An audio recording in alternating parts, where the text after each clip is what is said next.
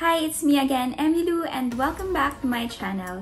If you're new here, please don't forget to join by clicking the subscribe and the bell button beside it so you'll be notified whenever I have a new upload. You can also follow me on my Instagram, Facebook page, Twitter, and TikTok.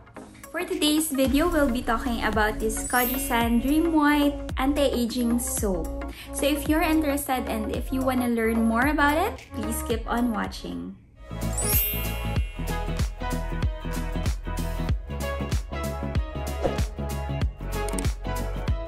First guys, I'm just gonna read what it says on the box. It says that this Koji San Dream White Anti-Aging Soap combines the youth-generating properties of collagen and elastin plus lightening effect of kojic acid. The moisturizing and whitening properties of the product will leave your skin feeling revitalized, refreshed, and younger looking. So, andito rin yung mga list na ingredients na ginamit nila for this soap. So, this is how it looks like on the inside, guys. So, ayan. Magkaibang magkaiba sila dun sa uh, regular na Kojisan or the kojic acid soap. And this is the kojic acid na Kojisan lightening soap nila. So this is the color orange and this is color white. Ayan. So, um, ano siya, medyo dirty white siya or medyo cream white siya. Hindi siya yung pure white. Ayan. And, ayan, nakabalot siya on the plastic one by one or separately. And ayan, so it says nga na anti-aging soap siya. And meron siyang collagen and elastin properties. So let's start. Um, paano ba ito gamitin guys? So uh, just use it every day. Just how you use your soap. Um, gamitin niyo lang siya araw-araw kung pwede once or twice a day. Mas maganda. Kailan ba makikita yung effect nito sa skin natin? Uh, if patuloy niyo lang siyang gagamitin guys, continue using it for at least one at least one week, one to two weeks, ayan, makikita nyo na yung effect and yung difference nito sa skin nyo. So, ayan guys, personally, nagamit ko na talaga itong soap na ito.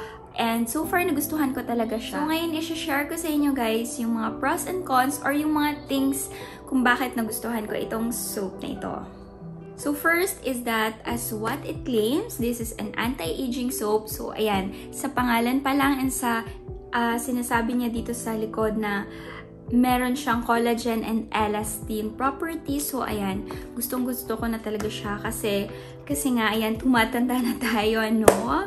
Malapit na tayong mag-30 or malapit na tayong mag-30. So, and kailangan na nating alagaan yung sarili natin or yung balat, yung skin natin. So, kung anong mga merong pwedeng collagen dyan, mga pampabata, ayan, maganda talaga na habang hindi pa tayo nag-age, habang na-prevent pa natin, maganda talaga na ginagamit na natin ito for our skin and to maintain our youthful glowing skin. Another thing na nagustuhan ko dito sa product na ito guys is that gentle lang siya guys. Hindi siya mahapdi. Hindi siya mahapdi tulad nung isang, tulad nitong orange na soap. Itong si anti-aging soap na Dream White, hindi siya mahapdi guys. Wala siyang ganong uh, feeling yung uh, kumbaga na i-irritate or yung parang mahapdi na feeling uh, ano ba tawag? Sting? Sting? Or yung parang Basta yung parang mahapdi na feeling, guys. Wala siyang ganun, guys. Very, very gentle lang siya sa skin mo. So, pwedeng-pwede mo siyang ibabad ng ilang minutes sa katawan mo. Like, um, 2 to 3 or 5 minutes. Ayan, maximum. Pwedeng-pwede niyo siyang ibabad. Kasi, uh, hindi niyo mararamdaman yung hapde and yung uh, makate or yung mahapding feeling sa skin Another nyo. thing na nagustuhan ko din dito sa uh, product na ito guys is that hindi lang siya nakakabata ng skin nyo guys. Another thing din is that nakakaputi din siya guys. So, hindi lang nakakabata ng skin, at the same time, nakakaputi din siya guys. So, diba, bonggang-bongga, parang ang daming benefits. Another thing din guys is mabango siya. Actually, uh, gentle na gentle lang talaga yung amoy niya. Hindi siya matapang, hindi siya yung talagang uh, agaw pansin. Very gentle lang talaga yung amoy niya. So, yun yung mga bagay na nagustuhan ko dito sa Dream White Anti-Aging Soap nila ng Kojisan.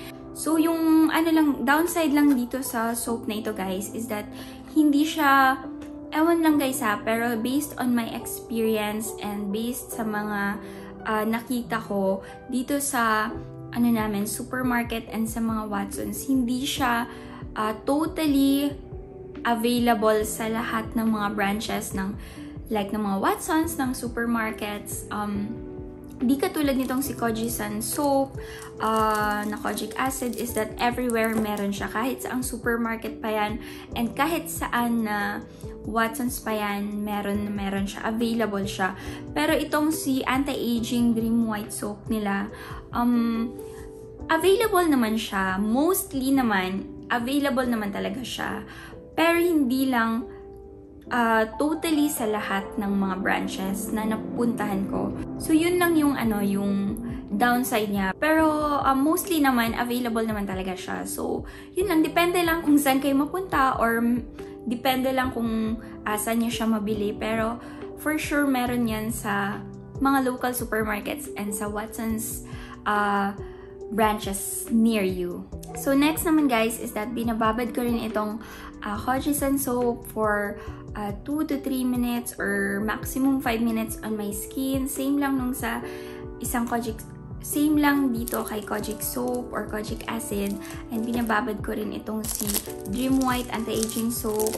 Binababad ko rin siya for at least 2 minutes and maximum 5 minutes sa skin ko kasi hindi siya mahapdi guys and um, okay lang na ibabad ko siya kasi hindi na i-irritate yung skin ko. Disclaimer lang guys, we all have different skin types. Therefore, this product may have worked for me and may or may not work for some of you. And also that I am not an expert. This is just all based from my own experiences and research. So that's all and I hope that you learned something from today's video. Thank you so much for watching and please don't forget to like, comment, share, and subscribe. Always remember that you are beautiful and be proud and be confident of who you are. Choose happiness, stay kind, and be yourself.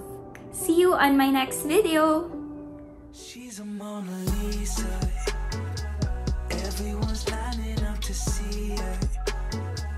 There must be something